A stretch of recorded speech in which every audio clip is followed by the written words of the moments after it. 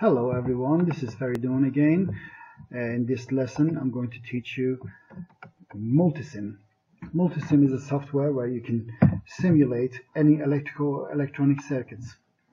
First thing you do, you go and find your Multisim software. You go to Start button, type Multisim, M-U-L-T-I-S-M is uh, straight away Multisim, sorry, S-I-M. Uh, as soon as you say M-U-L-T, it turns up here, so you can click on that. It opens the page, it goes through the initialization, and there you go. You have a blank page where you can uh, design your circuit and test it. Uh, with this multisim software, you can basically uh, simulate any electrical, electronic, or digital circuits. Now, it, this, the concept of using this multisim is very simple. I can't go through every single item on this um, software because it's going to be years of or months of going through it. So uh, I'll just go through the basic elements and how to find things so you know how to find your ways around it and navigate around things and um, then the rest is up to you.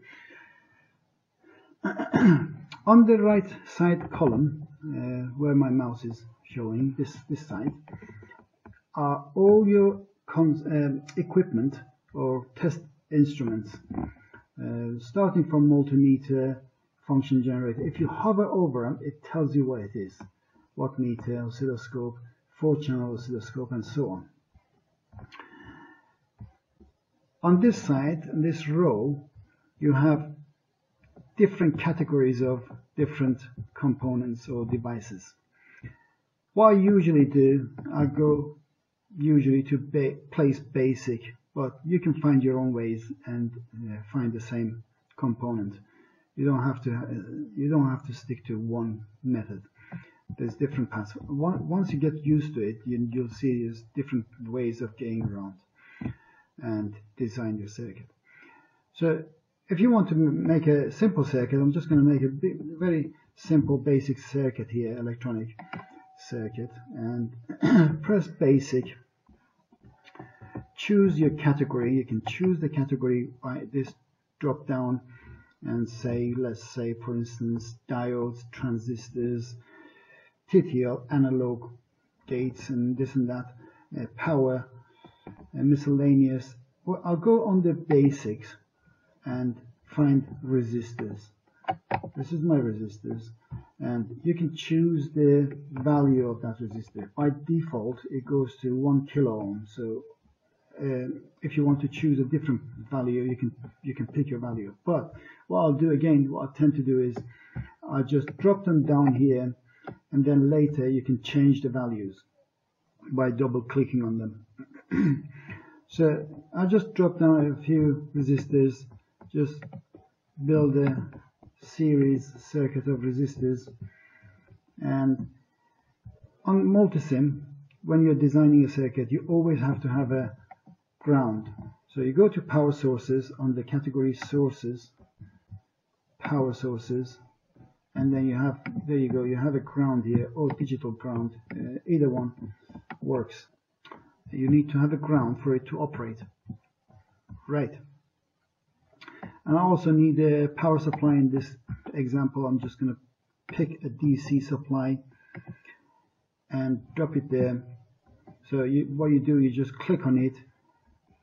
It minimizes this and it goes here on this page. You can just click again, you drop it there. So I think I've finished with this uh, window. Now what I'm going to do, I'm going to choose a couple of multimeters. So I pick a multimeter, click on this, it comes here and then you can move it across. Click again it drops it there.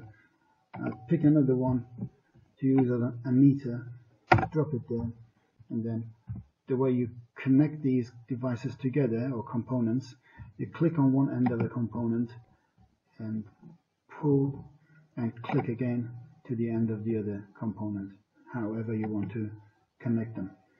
And, and that's how you wire them up. Click it's all left click click and drop. Now I want to use this one as an ammeter, so I need to connect it in series. I'm not going through the electrical uh, electronic lesson. This is just a simple lesson just to teach you how to use Multisim as a simulation software. And this one, I'm going to use this one as a voltmeter. So I connect it in parallel with this resistor. I just want to measure this resistor. Now, what I said about resistors, I've just dropped them, all of them, as you notice, they're all one kilo ohms. Now, you can double click on them and change the value. Let's say you want to change that to 10 kilo ohm.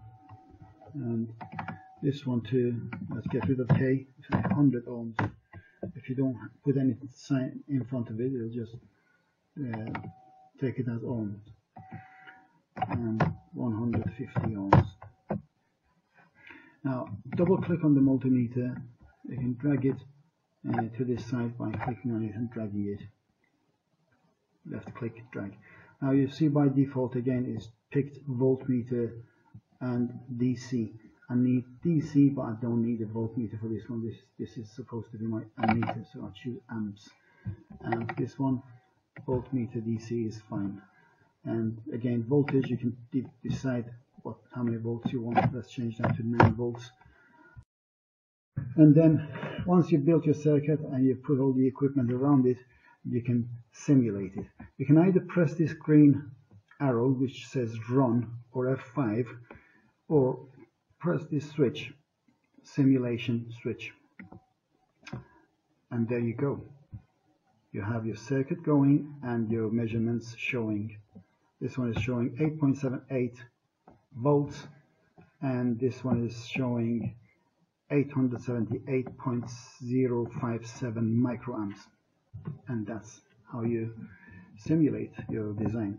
And then you can stop it by this or go back to the same switch and stop it on this corner.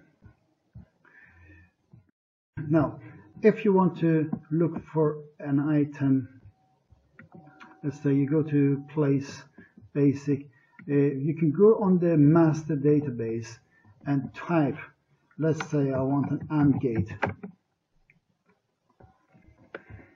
I don't know uh, what category it is on. So you go on the all groups, all groups, and and it shows you all the AND gates that you can have.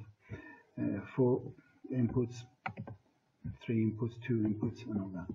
Or you want a 555 timer, and that's how you you find your items if if you don't know which category. But if you don't, if you do know, then you go on the let's say diodes and then pick your particular diode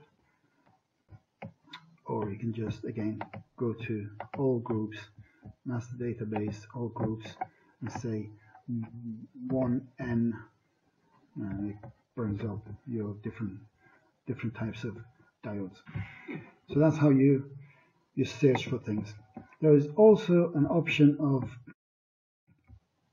um, set of a few sets of circuits is already done for you. It's, it's called it's come on the tools circuit wizard and you can choose 555 timer. It's already done a circuit for you. Uh, let's let me open a different page. If you want to open a different page, you, you just press this new, and it keeps that old one for you. So create. Now your design one is here. Your design two is here. But while one design is running, you can't run the other one. You have to stop one to run the other one. At the moment, this one is stopped, and this one can you can. Um, let's just show you, just show you the 555 timer, for instance. You can choose different values for different time timings, and then build a circuit. Drop it here, and you can you can still change values. You can you can move things around and change them around and alter it. But it's just it's just a shortcut basically to some circuits. Um, the same with filter wizard op amp wizard. That's an op amp operational amplifiers. Um, what else do we have BJT amplifier wizard and all that so there's a few things uh, that can be a shortcut for you to your result. This is Feridun, and this is your lesson for today. I'll talk to you again with another new lesson in electronics. Goodbye.